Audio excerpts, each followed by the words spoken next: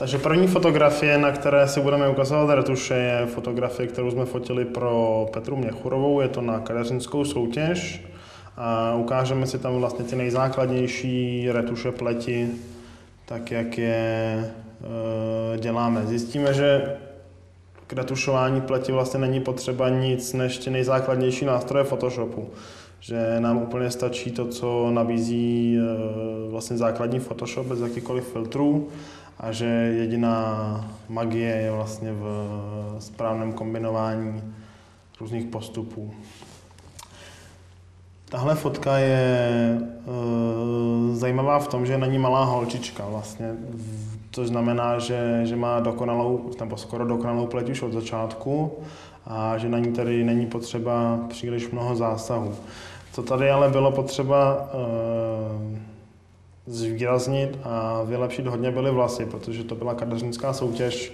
To znamená, že ten účes by měl být co nejdokonalejší a ještě e, ukážeme si vlastně, jak udělat, aby strhlo na začátku pozornost přesně to, co chceme. E, tady je to v první řadě obličej té holčičky a potom vlastně ten účes. Takže začneme od začátku. E, Retušovaná fotka vypadá takhle. Je focená na pozadí e, nějakého obrazu, protože jsme chtěli docílit dojmu e, malby od nějakého renesančního nebo barokního malíře. Je tak i svícená a my se teďka teda ještě budeme pokoušet ji i retušovat tak, aby vypadala jako obraz. Vidíte, že holčička má kruhy pod očima, takže začneme, začneme u těch. Nástroje, které budeme používat, teda jsou eh, patch tool, což je vlastně eh, jedna z variant eh, healing brushe, nebo česky se to jmenuje, nevím jak, a klonovatýho razítka. Všechny úpravy, které budu dělat, dělám vlastně v 16 bitech, protože nechci přijít o nejjemnější tóny pleti a snažím se dělat úpravy tak, abych se mohl po jednotlivých krocích vracet, k, vlastně vracet o krok zpátky vždycky. To znamená, že se snažím dělat úpravy pokud možno nedestruktivní a e, spíš tam mít třeba víc klidně i vrstev. Takže si zduplikuju tu první vrstvu, začnu od těch nejhrubších věcí, jak už jsem říkal na začátku. Takže zbavíme jí kruhů pod očima, zbavíme i těch největších pupínků. Na holčička, ač má make-up, tak eh, některé vlastně ty pupínky na, na pleti se nepovedlo zakrýt. Tohle je taková nejméně zábavná část eh, z každého retušování čehokoliv. Všechno dělám s tabletem, protože kdybych to dělal s myší, tak se z toho zblázním.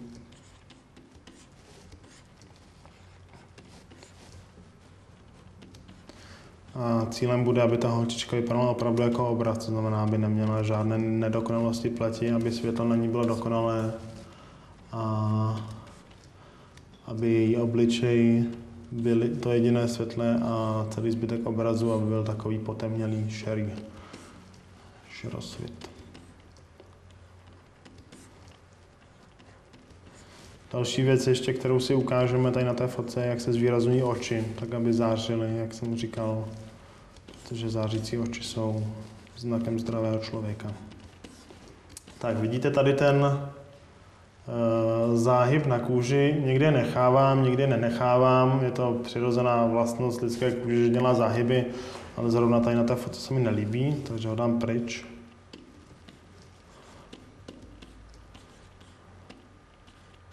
Vidíte, že mi tady zůstaly uh, artefakty, ale ty dám potom pryč ještě klonovacím razítkem za moment.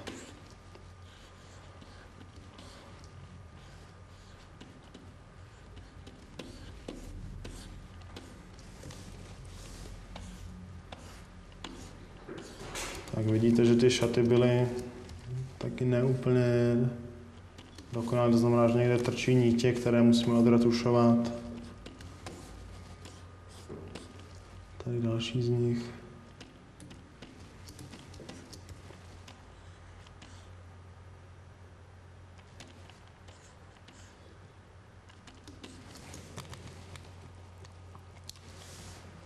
Tak, to by na hrubo stačilo. Teďka ještě doladíme ten krk klanovacím razítkem zase do nové vrstvy, aby nám eh, zůstaly všechny úpravy zachovány a mohli, by, mohli jsme se k ním vracet po krocích. A klanovací razítko v těchto případech používám na nižší průhlednost, aby práce s ní byla co nejjemnější. Takže necháme 10%, nabereme. Tak to jsem se netrafil.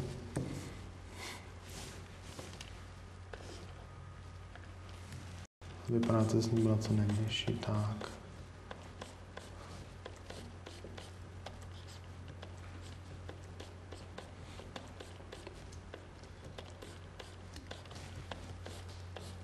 Někdy ho používám i na 5%. Dělá to vlastně ještě jemnější efekt zase. Tady při práci s tím klonovacím razítkem vlastně tvořím většinou několik vrstev, které potom prolínám.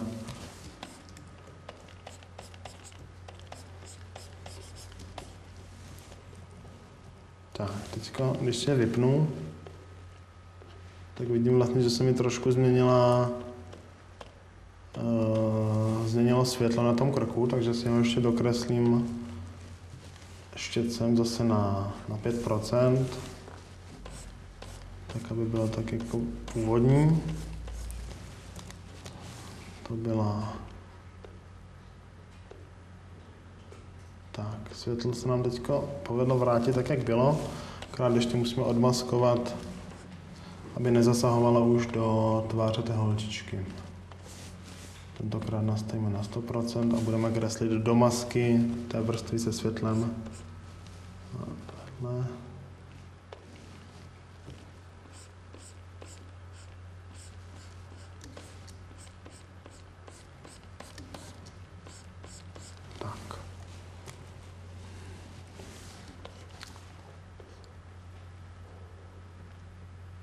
Teď tedy úpravy, které jsme udělali, vypadají zhruba takhle.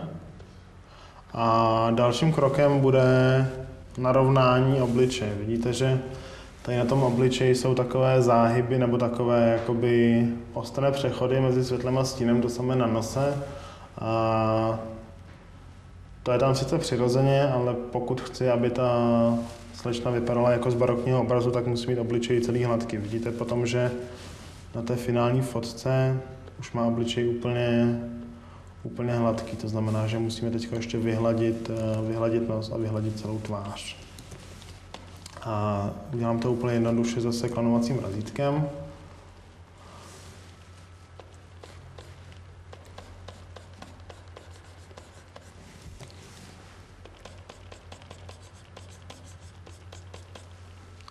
Teďka uvidíte, že se mi stane to, že mi vlastně zmizí uh, Zmizí mi struktura kůže, kterou tam ale potom zpátky dodáme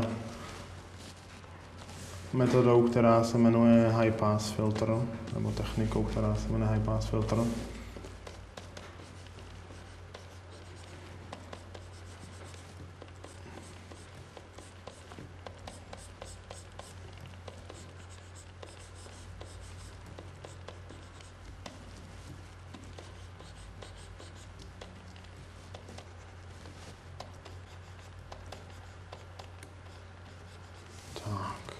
Podívám teďka na zmenšenou verzi, tak vidíte, že obličej už si začíná trošku uh, přibližovat tomu, co chci.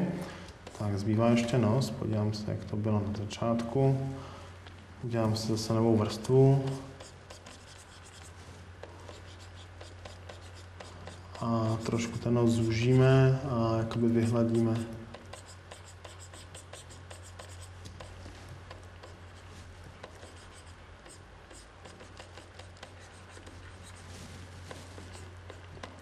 samé kruhy pod očima.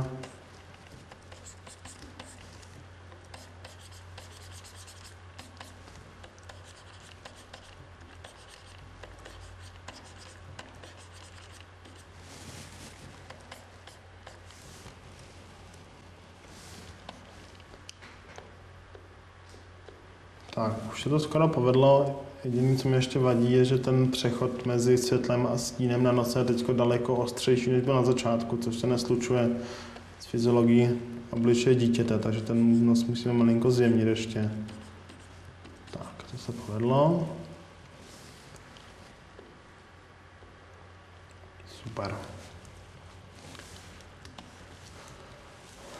Tak, říkal jsem před chvílí, že nám zmizela struktura kůže, vidíte, jak to vypadá a my si teď musíme vrátit zpátky metodou, která se jmenuje high pass. Tak, metoda high pass spočívá v tom, že si vlastně vytáhneme z pleti jednotlivé pory nebo jednotlivé úrovně detailů a ty potom aplikujeme zpátky. Takže e, praktický efekt to má v tom vlastně, že a to se budeme snažit, je, že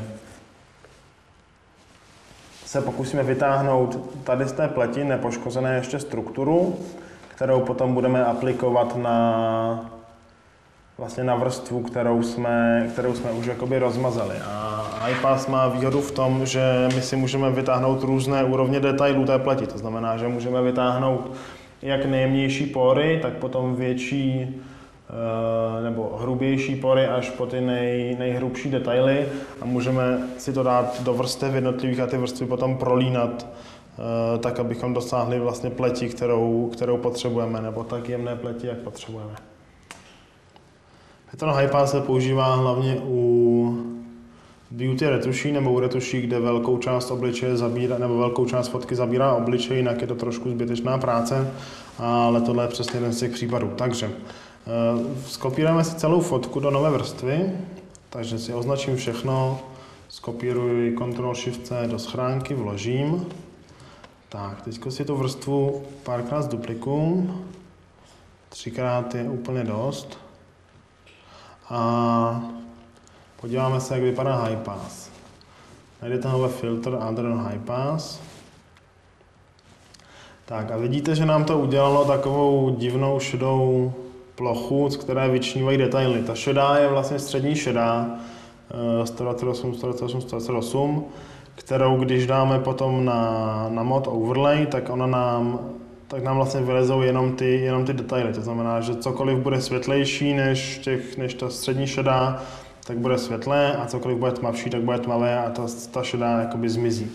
A vidíte, že když tady měním rádius, tak podle toho, jak ho mám nastavený, tak takové vlastně úrovně těch detailů vidíme, nebo nám z toho ten filtr separuje. Takže já začnu od nejjemnějšího a necháme radius na 1,5. OK, uděláme to ještě dvakrát o trošku hrubších nebo o trošku větších poloměrech. Teď dáme třeba 3. A jako poslední zkusíme ještě většího trošku.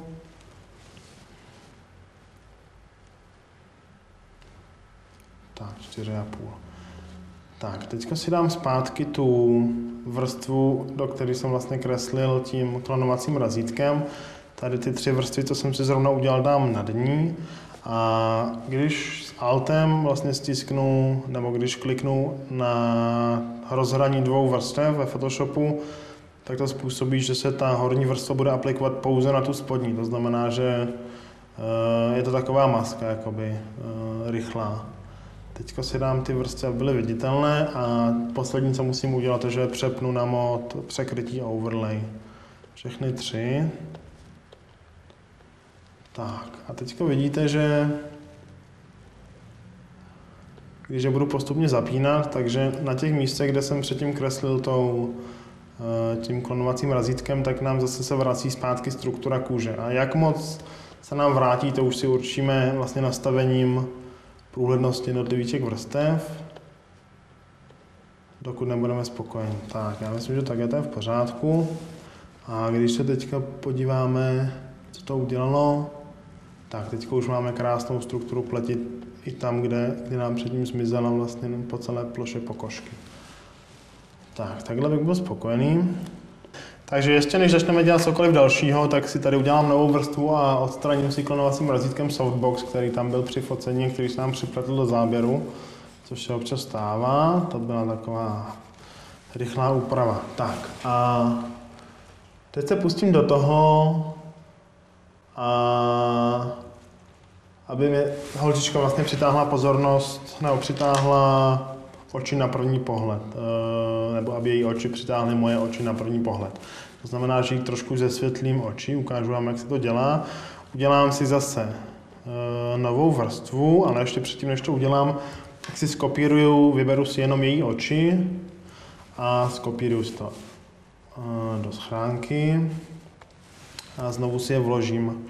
A zkusím vlastně přepnout tuhle vrstvu na mod překrytí overlay, zjistím, že to je moc světlý, softlight taky moc světlý, takže co potřebuji udělat, je, že udělám novou vrstvu úprav, kde budu mít křivky. Tu si nechám aplikovat vlastně zase jenom na tu vrstvu pod ní. A zkusím ty křivky, jakoby, zkusím tu vrstvu zesvětlit hodně. Tak, to už by skoro fungovalo. A teďka vlastně si tu vrstvu pod tím vymaskuju. E, tentokrát to udělám přechodem, kruhovým přechodem vlastně tam, kde chci ty oči zesvětlit. Tak, podíváme se, jak to vypadá. Zjistíme, že to nedělá úplně to, co potřebuju. Takže to zkusíme ještě předtím udělat jeden krok, takže si udělám jenom samotnou vrstvu úprav, kde budu mít křivky, zesvětlíme. Tu vrstvu necháme aplikovat tentokrát na celý obraz. Tak a maskou zase s kruhovým gradientem jenom zesvětlíme oči tam, kde potřebujeme. To bylo pravé oko, teďka ještě levé. Tak, můžu ty vrstvy ještě několikrát zduplikovat, abych tam udělal takové, nebo taková světilka v očích.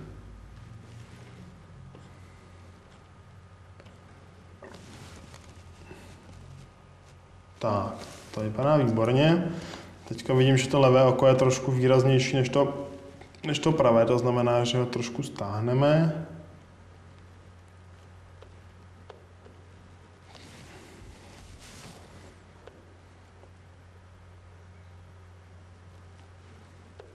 Tak, teďka už by to mohlo fungovat.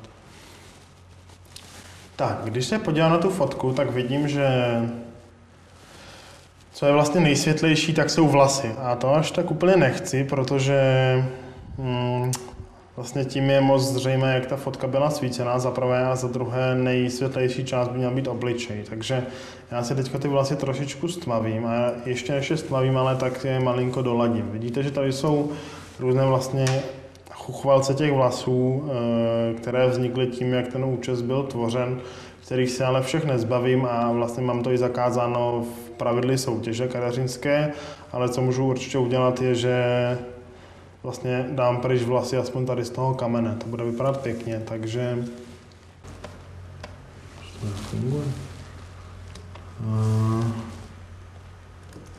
Tak vidíme, že to nebude až tak úplně fungovat, takže to zkusíme klonovacím razítkem.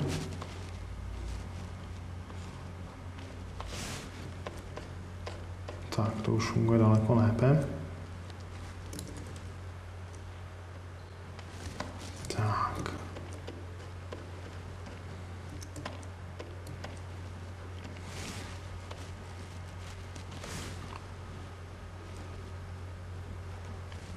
No, retušování vyžaduje docela dost trpělivosti, že pokud ji nemáte, tak na to rovnou zapomeňte.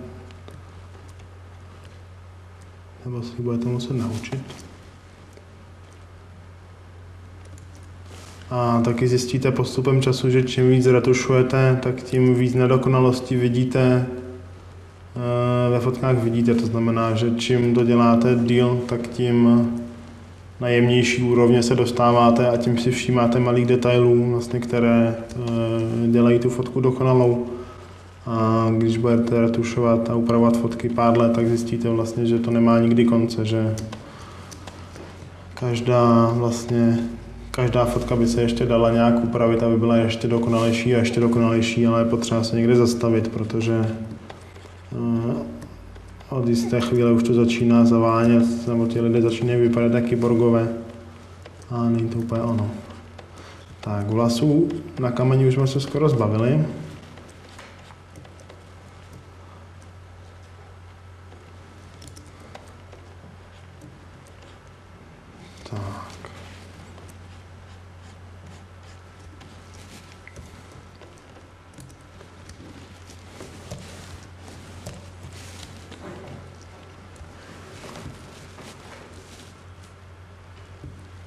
Teď ještě doladíme detaily.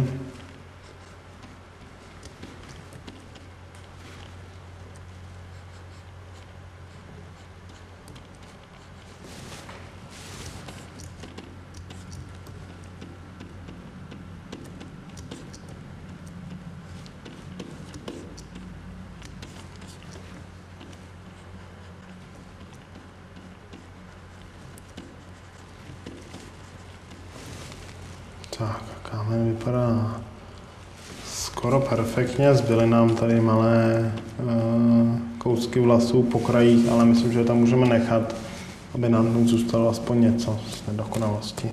Kámen už samotně vypadá tak, jak má. Tak a teď teda, teď teda stmavíme vlasy, tak aby neupoutávali pozornost na první pohled, ale místo nich to byl obličej. Takže uděláme si novou vrstvu úprav s křivkami křivky stáhneme a maskou s kruhovým gradientem vlastně způsobíme, že ta úprava zasahuje jenom oblast toho, těch vlasů nad čelem. To samé skopírujeme ještě jednou a doladíme si to eh, doladíme si tu úpravu ještě štětcem ručně s průhledností třeba 20, tak aby nám zmizely i ty zbytky vlastně těch světlých vlasů.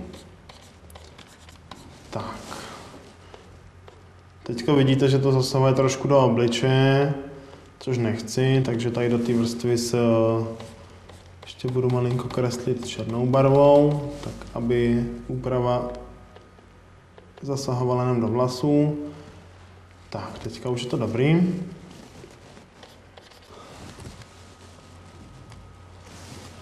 A tím by vlastně ta fotka byla už skoro v pořádku. Jediné, co ještě udělám, je, že stmavím, stmavím rohy. Eh, potom by ještě následoval barevný grading, ale to si ukážeme až později. Takže eh, uděláme novou vrstvu úprav s křivkami a gradientem, tentokrát lineárním, si takhle uděláme takový falešnou, falešnou vynětaci do rohu. A ještě sem. A ještě sem.